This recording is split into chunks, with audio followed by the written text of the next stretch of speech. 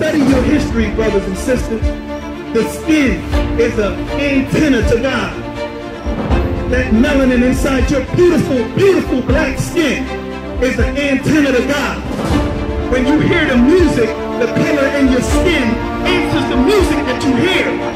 You're the only people that's like that. They call us, in secret, the indigenous people of the earth. Look that word indigenous up. Means to the. You are the aboriginal people of the earth. Look that word up. It means you first. It means God his hands made us. And God makes something, nobody can outdo what God did.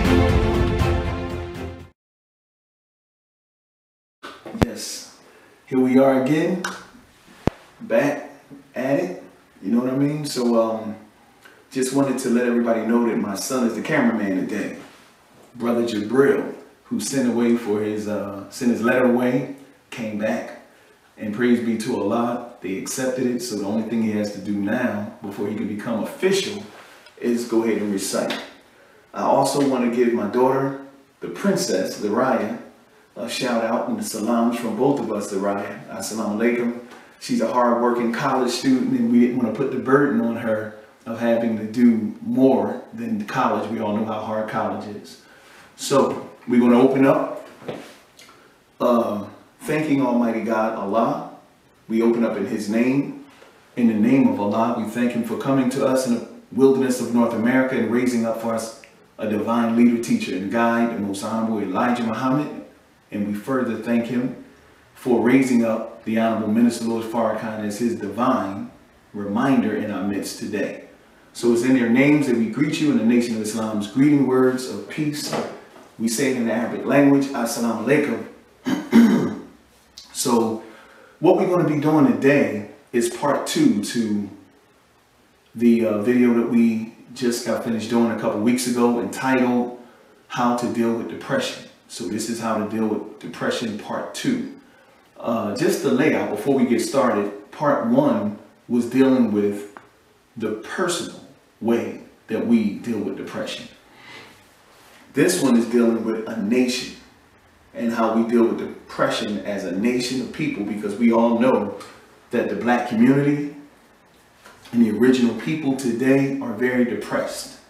So we're going to deal with how to deal with that depression. And um, part three, which we want you to very, you know, look forward to seeing, inshallah, will be on how we deal with depression globally. But uh, back to what we were talking about today, I have my Holy Quran here, I have my Holy Bible, and I have my Supreme Wisdom. So we're just going to go ahead and work it out. I'm going to do a couple announcements before we get started. Of course, we have the Final Call newspaper. All praises due to Allah. We're back with our paper. And uh, make sure you get one. Make sure you go on and uh, subscribe. Digital Final Call. Uh, make sure you can you can get these uh, delivered to your house.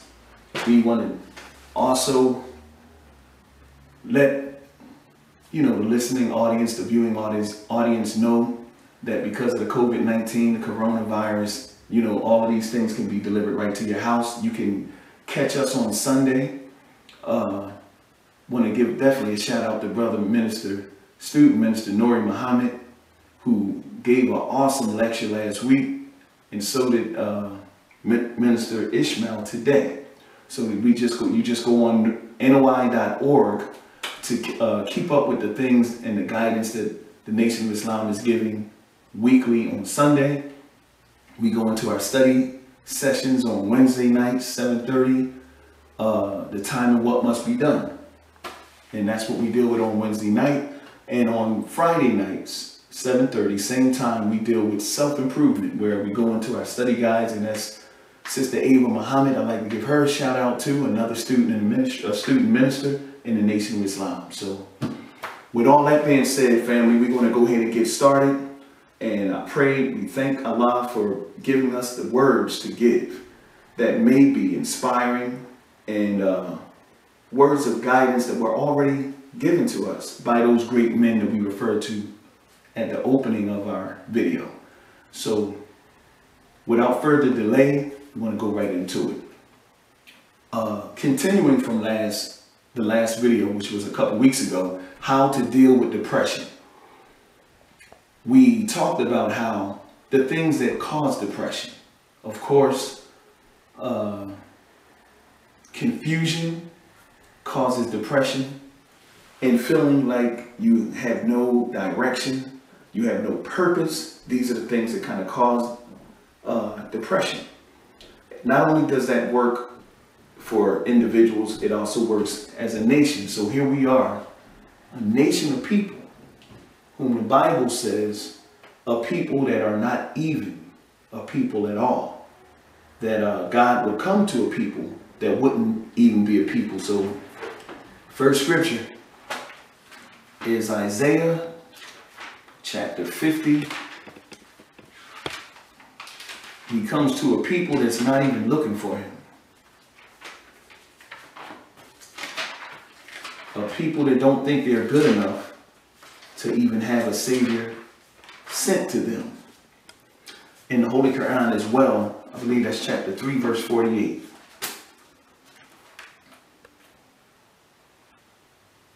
Okay. Is it 348? Well, let's deal with Isaiah. Let's deal with Isaiah. Isaiah chapter 50, and I know it's verse 1.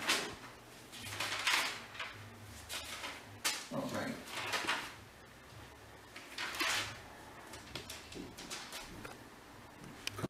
This is God. Verse 1, chapter 50. It says, Thus saith the Lord, Where is the bill of your mother's divorcement, whom I have put away? Which of my creditors is it to whom I have sold you? Behold, for your iniquities, which is wickedness, have ye sold yourselves, and for your transgressions is your mother's is your mother put away. Verse 2. Wherefore, this is God talking, when I came, so it must be in a person, was there no man? When I called, was there none to answer? Is my hand shortened at all that it cannot redeem? Or do I, or have I no power to deliver? Now, this is a very, very interesting scripture where Almighty God is coming in the person of a man because we know the spirit of Allah is omnipresent. It's always there. So whenever we talk about the coming of God, where he's coming from one place to another. That is dealing with God in person. And this God that would come to us would come to us and find no man. No man that would be a counselor to us. No man that would give us the clarity that would help us to get out of uh, that depressed state that we would be in. So, when the man came, that man would give us a divine teaching, a supreme wisdom, a, a word and a message that the Christians call the Holy Spirit with many different uh, metaphors and even the word idiom where it would just give you pictures of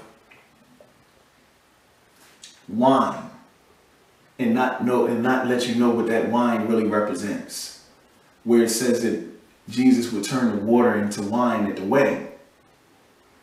And the wine representing a clear and pure understanding of the word where the marriage between us and Almighty God Allah can be complete. Of course, without the right understanding and a watered down understanding, then the marriage could never take place between us, which is the bride and the bridegroom who Jesus was trying to marry us to. So one would come and that one would find no man that would be present, that when he came and asked us certain questions, we would not be able to answer the questions that that man would ask. So with our supreme wisdom, those questions that would be asked would number one, expose what we don't know. And number two, give us the very thing that we would need so that we could know. All right? So in the Holy Quran, chapter 3, and um, I want to start at 45, but I was going to uh, verse 48, where it says, so I'll start at 45 and go all the way down to 48. Bismillah ar-Rahman rahim in the name of Allah, the Beneficent, the Merciful. It says, when the angel said, O Mary, surely Allah gives thee good news with a word from him of one whose name is the Messiah, Jesus. Not Jesus the prophet, but Jesus the Messiah, son of Mary, worthy of regard in this world and the hereafter, and of those who are drawn nigh, meaning near, to Allah. Verse 46. And he will speak to the people when in the cradle and when of old age, and he will be one of the ones, one of the good ones. Verse 47. She said, My Lord, how can I have a son? And man has not yet touched me. He said, Even so, Allah creates what he pleases. When he decrees a matter, he only says to it, be, and it is. Be, and it is. And that's the word that Allah uses to create. Now here's verse 48. It says, and he will teach him mm, the book and the wisdom and the Torah and the gospel. So our board, I would like to write that on the board, but we're going to do that next time because we, you know, at the end of the video, we're going to show you what's already on the board dealing with the uh, next topic that we do after we finish this one. But sticking to the subject with this particular topic, four things are being said in verse 48. Number one, Allah, it says, and he, so he will be taught by Allah. It says, and he, capital H, will teach him, and him is Jesus, the book. That's one thing. And the wisdom, and the Torah, and the gospel. Now that's very, very deep because we know that the book wasn't put together. It was scrolls before it was a book. The book wasn't put together until way later. So the only Jesus that would be given a book would be the most honorable Elijah Muhammad. Jesus meaning Savior, and the most honorable Elijah Muhammad is that Savior for us today. Uh, it also talks about Jesus, the Messiah, not Jesus the prophet. That's verse 45. It refers to that Jesus as the son of Mary. See, we have to touch on all of these things because that son of Mary Mary in the Bible, in the Holy Quran, is a virgin. And when we talked about metaphors and idioms and parables, that's when you're talking about something and it's symbolism, symbolic of something else. Right? So a metaphor would be something that symbolizes something else. So you use the term Mary which means virgin, which means you're coming to a people where there is no man, like we just read here in Isaiah 50. So no man to teach, no man to cultivate, no man to guide. That's what happened to our people. We're just setting the stage and setting the tone for which way we're getting ready to go because we're dealing with depression. It would be very, very depressing depressing for people to not have wisdom, to not have guidance, to not have understanding of who you are, to not be connected to your power source, which is Almighty God Allah, and to not be clear on who is putting you in a position like this, your enemy. That would be very depressing. And we would become, because of that, demon sponges where we would just absorb every wicked spirit out there. So when people call a black man and woman cursed, that is a curse when you don't have these things. So uh, the man that would come and give knowledge. Hold on now.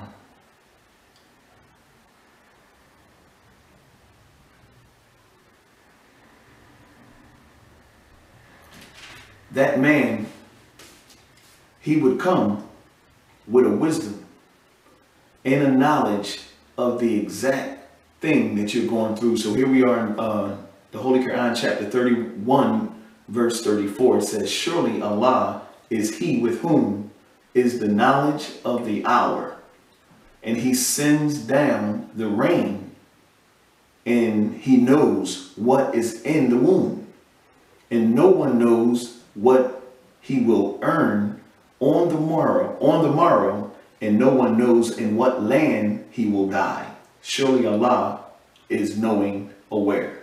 So the, the knowledge of the hour, of course, is the knowledge of the time in which we're living in, the exact day.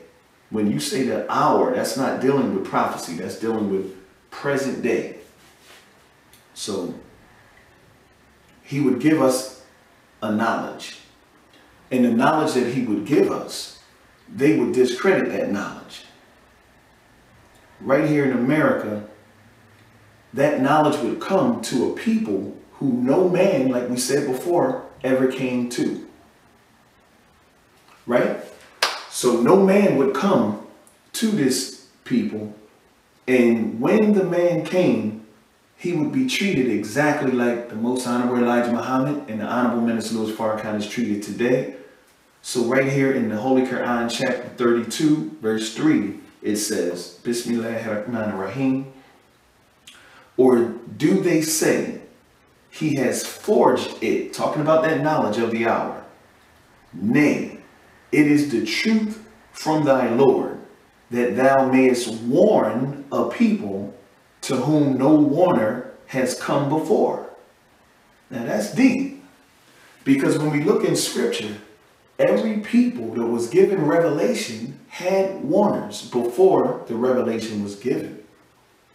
The Arabs had Ishmael. So even if there's few prophets sent to the Arabs, they still had someone there. Of course, Jesus in the Holy Bible is a Jew, and so are his people Hebrew. The Hebrews and the Jews had many, many prophets, one after another sent to them. So these are little points that the most honorable Elijah Muhammad teaches us through the honorable minister Louis Farrakhan that we would be the fulfillment of these uh, scriptures. We would be those people that Allah God would come himself and raise up one and teach one the knowledge of the hour and the people that would receive this message would be criticized by all who don't believe, which would be the majority, like it always is. The majority of the people did not believe in Moses. The majority of the people did not believe in Jesus. When he was crucified, it was just his mother and Mary Magdalene there with him. And maybe one, I think it was John, his brother. Today, in the nation of Islam, a minority of Muslims.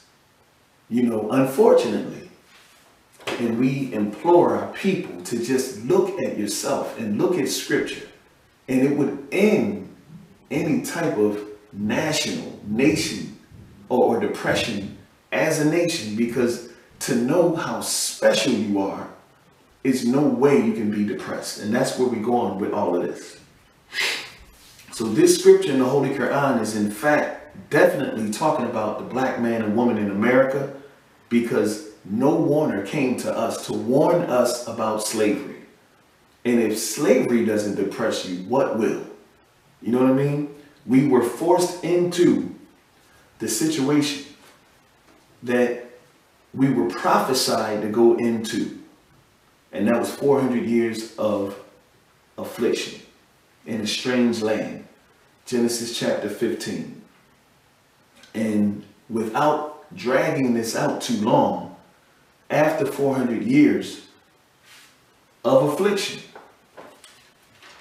It says in scripture that God would come and judge the nation whom we would serve.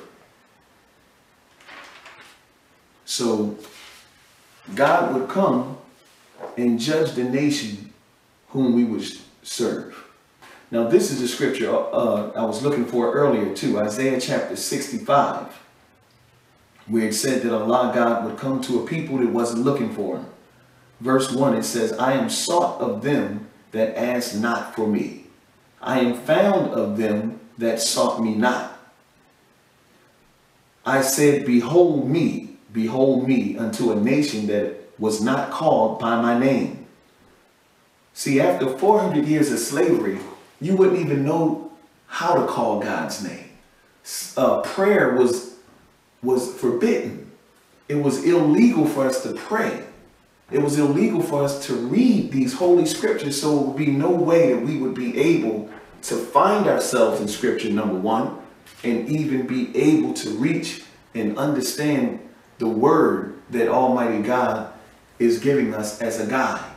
So no warner, no teacher, no man, because of what we would we would endure after the 400 years of slavery that we would be forced into. Well, a lot of us get upset because of what happened. We get upset with Europeans.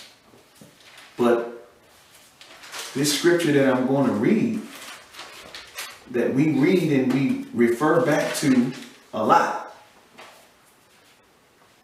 This is something that if you really parse through it and look at it carefully, how can the Europeans be, and I'm not big on uh, defending the enemy, but whether that European is wicked or not, how can he be responsible for this if God already ordained it before he even came on the scene? So it says here in Genesis 15, verse 13.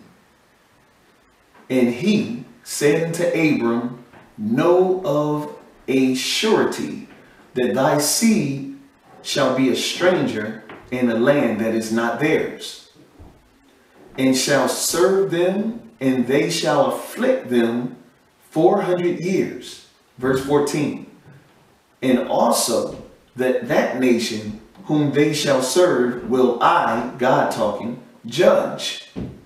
And America's under divine judgment right now. And afterwards shall they come out with great substance, possessions. And more than possessions, knowledge. And thou shalt go to thy father, their fathers, in peace. Now we came from the motherland. So the motherland is Africa, and that's where the fathers are. So they would go to their fathers in peace. Thou shalt be buried in a good old age, right?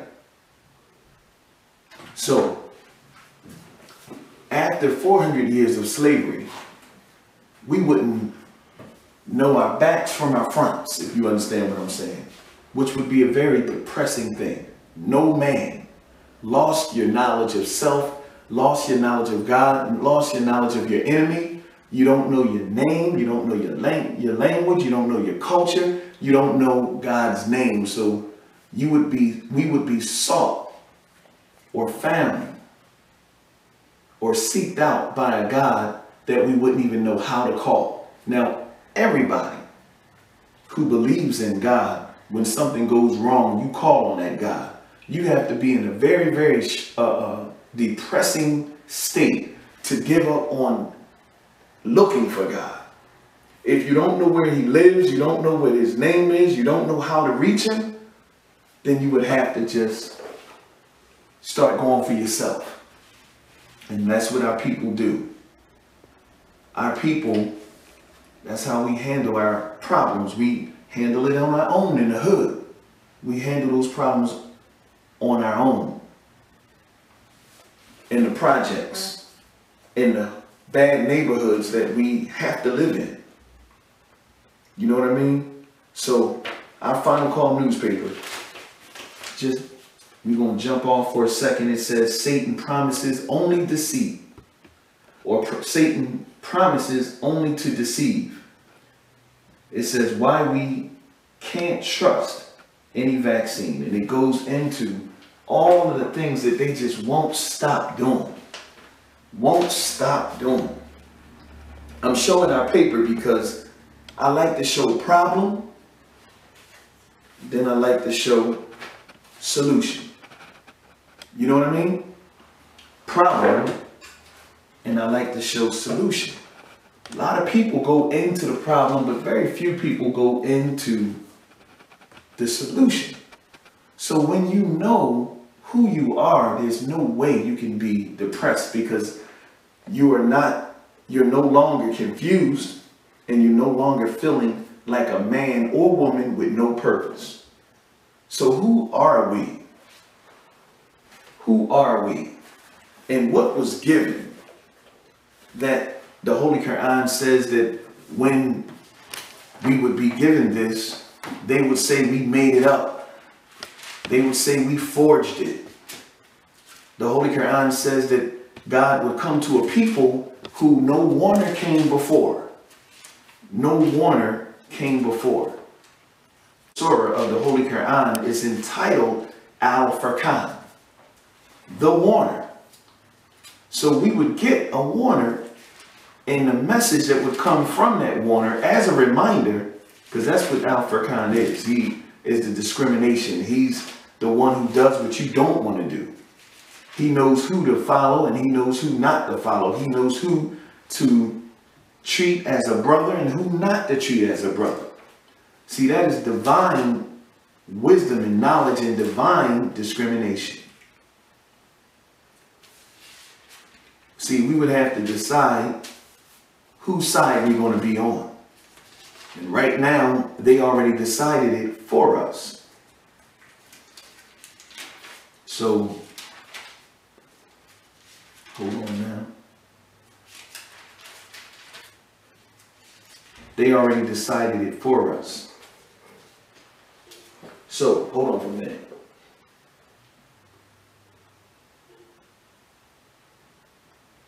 Three forty-eight.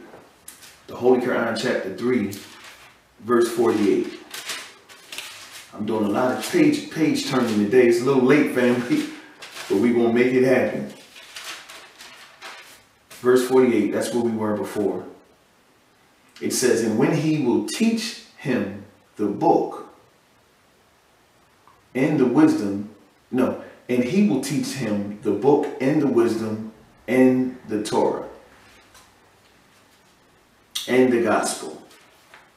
And as he teaches these things, of course, since we already have these things, we going we would look at it like he made made it up. So 32 verse 5, that's where I was going. Now we on track. The adoration.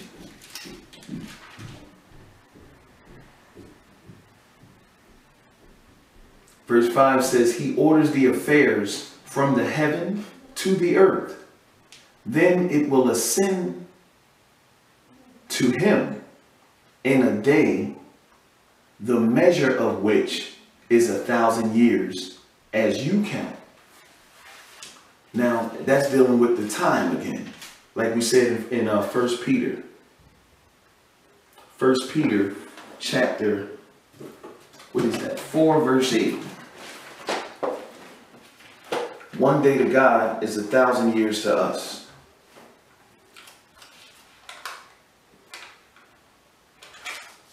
First Peter.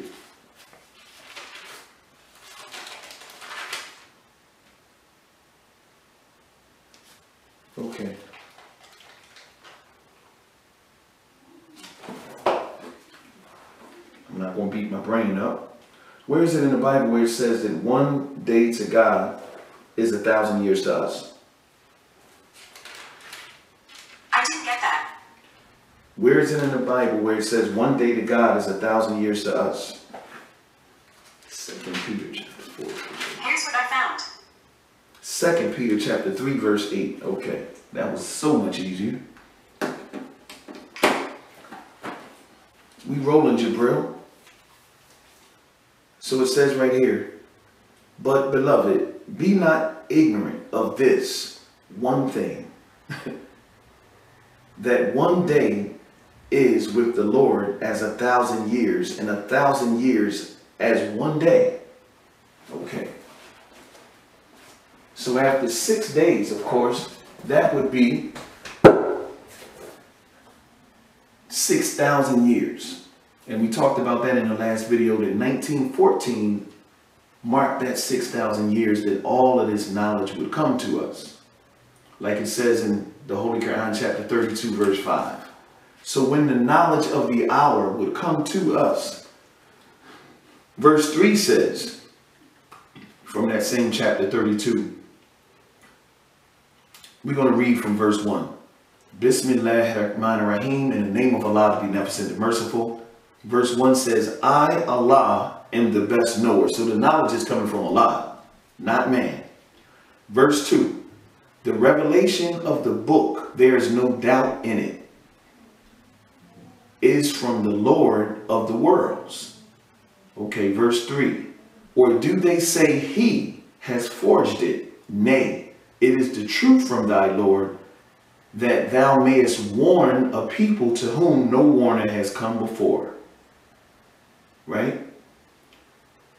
To a people that no warner has came, come before thee, that they may walk aright. So that's the time we're living in now, brothers and sisters. So as we bring this beautiful talk to a close, we want to end with supreme wisdom. The, when the man came, he would ask certain questions and those questions that we would not be able to answer, the first question would be from student enrollment, and that is, who is the original man?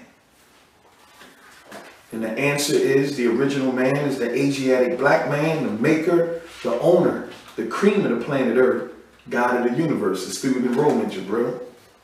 Mm-hmm. So we're gonna help you out today because you have to recite, son. So, who is the original man?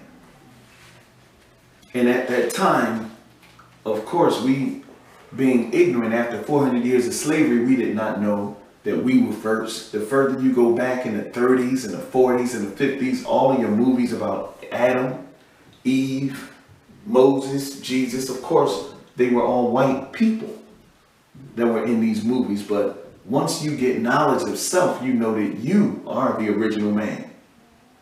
The original man is the Asiatic black man, the maker, the owner, the cream of the planet Earth, God of the universe. That's knowledge of self. That's knowledge of your God, who is the colored man. Right? The colored man is the Caucasian white man or Yakub's grafted devil, the skunk of the planet Earth. Mm. When we know who we are, who God is, who the enemy is, right? And we've been through it before. The actual meaning, the deep meaning to our student enrollment, that we would be the original people of the planet. The makers, the owners, the cream of the planet Earth, the God of the universe. It says it right there in the book of uh, Daniel, where we are referred to as the Ancient of Days the Ancient of Days. Of course, people misinterpret that or interpret it differently from us, but we know the Ancient of Days is not just dealing with God, but it's dealing with us. So that's uh, Daniel chapter 7, verse 9. It says, I beheld till the thrones were cast down, and the Ancient of Days did sit, whose garment was white as snow, and the hair of his head like pure wool his throne was like the fiery flame, and his wheels as burning fire. Now, see, all of this has symbolic meaning, and of course, it's dealing with Jesus, but it's also dealing with the body of Christ, which is us. Jesus would come back for his people who were on this earth for a long, long time, a lot longer than 6,000 years. So now, family, what is the solution which way do we go? What should we really be happy about? If you are the gods of the world, gods of the universe.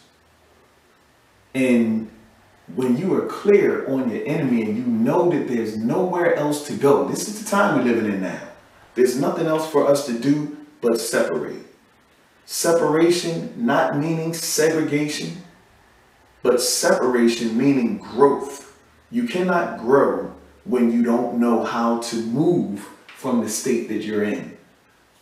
A home that is comfortable at one point is not always comfortable once growth takes place. The womb was a home, but that womb eventually became too small for us to stay.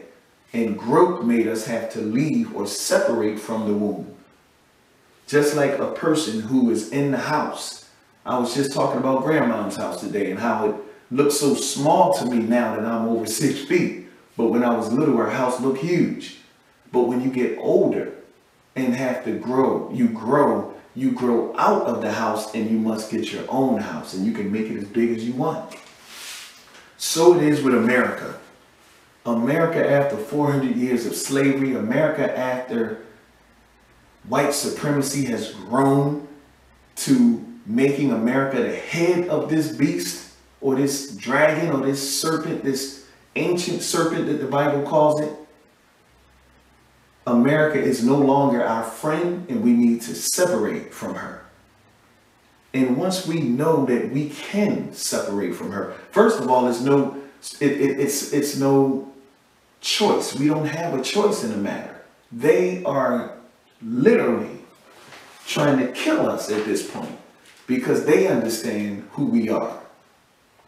So we must separate from them and we must demand certain things from them. And if we don't get it, then we must call on our God and follow his Christ, the real one, and follow his reminder and do these things ourselves because everything that's on this page right here, we don't really have to wait for none of this. And that is the good news of the real gospel from the real Jesus. So I'm going to read as we come to a close the solution. And if the Holy Spirit of Allah has me to go into this, which we read many times before, but you cannot read it enough. I want to read the beginning of our solution.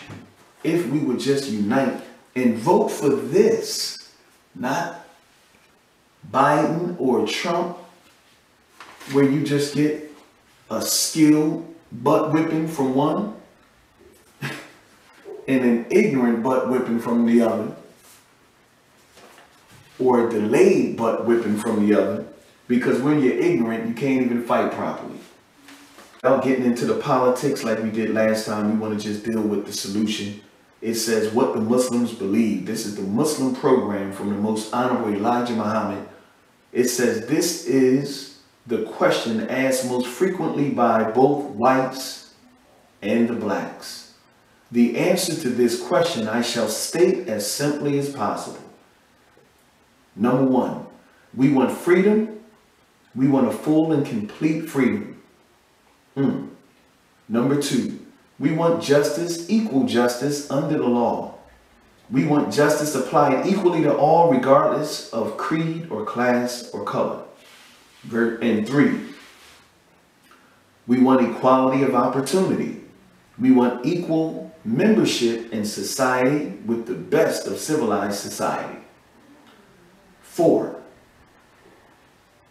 we want our people in America whose parents or grandparents were descendants from slaves to be allowed to establish a state or territory of their own, either on this continent or elsewhere. We believe that our former slave masters are obligated to provide such land and that the area must be fertile and minerally rich. We believe that our former slave masters are obligated to maintain and supply our needs in this separate territory for the next 20 to 25 years until we are able to produce and supply our own needs.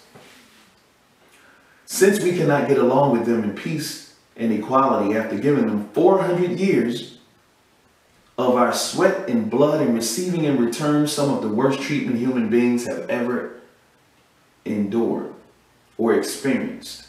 We believe our human, we believe our human, no, we believe our contributions to this land and the suffering forced upon us by white America must justifies our demand for complete separation in a state or territory of our own. Now I'm going to read that part again because this is very, very critical. Bear with me, family.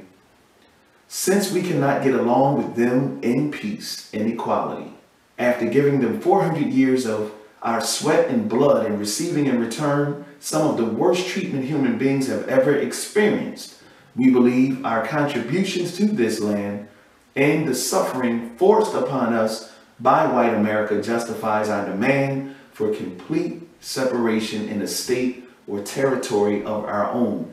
This is nothing but Black Wall Street. This is very, very realistic. This is no pipe dream. Point number five. We want freedom for all believers in Islam now held in federal prisons. We want freedom for all black men and women now under death sentence in innumerable prisons in the North as well as the South. We want every black man and woman to have the freedom to accept or reject being separated from the slave master's children and establishing a land of their own. We know that the above plan for the solution of the black and the white conflict is the best and only answer to the problem between two peoples. Mm. Six, we want an immediate end to police brutality and mob attacks against the so-called Negro throughout the United States. You see how this is timeless? We believe that the federal government should intercede intercede to see the black men and women tried in white courts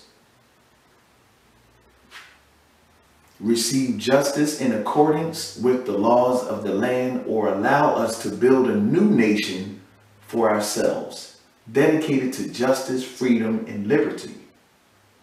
Seven, as long as we are not allowed to establish a state or territory of our own, we demand not only equal justice under the laws of the United States, but equal employment opportunities now. And that's in all capital letters, exclamation mark. We do not believe that after 400 years of free or nearly free labor, sweat and blood, which has helped America become rich and powerful, that so many thousands of black people should have to subsist on relief charity, or live in poor housing projects and stuff. We don't want that. Here's eight. We want the government of the United States to exempt our people from all taxation as long as we are deprived of equal justice under the laws of the land. You know how we say we have a, a, a, a um, set of rules for them and a set of rules for us laws for them, laws for us. You shoot into somebody's house, and if that person that you shot into the house is white, then you get a little penalty for that. But if you shoot and kill somebody, our sister Breonna Taylor, may Allah give bless that family with the strength that they need to get through that horrific experience and make the people that are supporting them, and we support you in the Nation of Islam, stay strong and keep pushing. But a person that would do something like that get off clean, see, this is a different set of laws for black and a different set of laws for white. And as long as that is going on, why should we pay taxes to a government who treats us that way? That's what this is saying. See, when you stop paying somebody, when you hold on to that cash, that makes you, you see, the pocket always hits harder than anything else. So I don't know if it's going to be all kind of static in this video because the Most High Elijah Muhammad and his solution is very powerful. But because of the time, we want to keep moving. So I'm going to read 8 again. We want the government of the United States to exempt our people from all taxation as long as we are not, as long as we are deprived of equal justice under the law of the land. Nine, we want equal education but separate schools up to 16 for boys and 18 for girls on the condition that the girls be sent to college, women's colleges and universities. We want all black children educated, taught, and trained by their own teachers. Under such schooling system, we believe we will make a better nation of people. The United States government should provide, should provide. We got so much money, $1.3 trillion a year, we can provide. But the United States government should provide free, all necessary textbooks and equipment, schools and college buildings. The Muslim teachers shall be left free to teach and train their people in the way of righteousness, decency, and self-respect.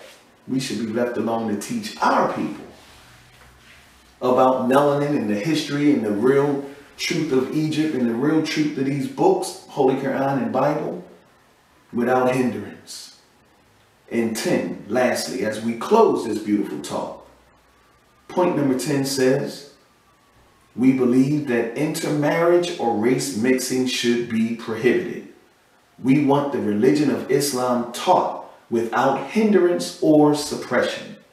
These are some of the things that we the Muslims want for our people in North America. So as we close, we want to deal with that because the way the tormentors are, they like to throw rocks and hide their hand like the minister says. They like to trivialize the things that we ask for. They like to demonize the things that we want. And the things that we know that we need. So here in point number two, when it talked about or talks about intermarriage being something that we believe that should be prohibited. We want it to be prohibited so that we can make a strong America.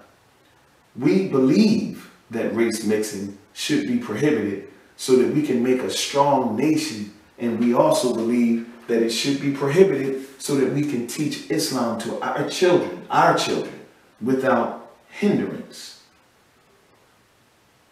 So whenever you're trying to make a strong anything, you mix that thing or that people with their own people.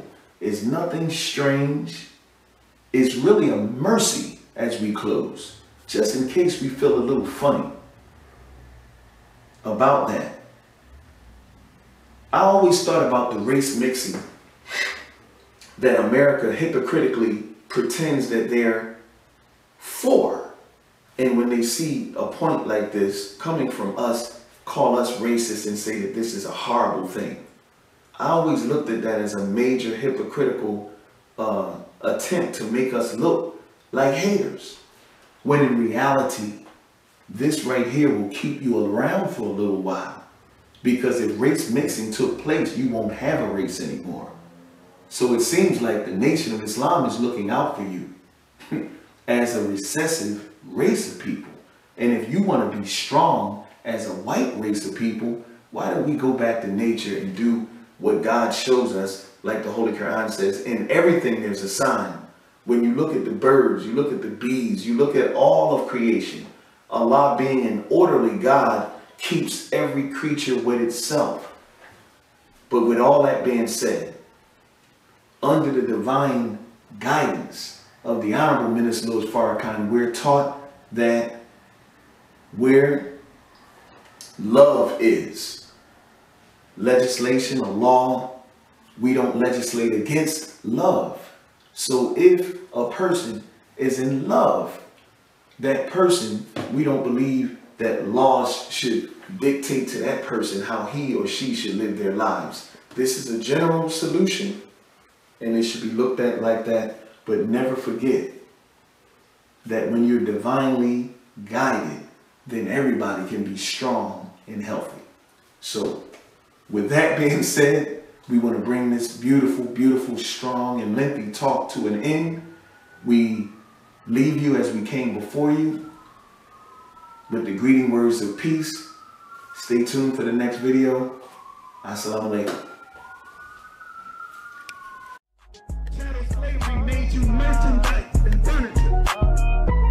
Chattel slavery.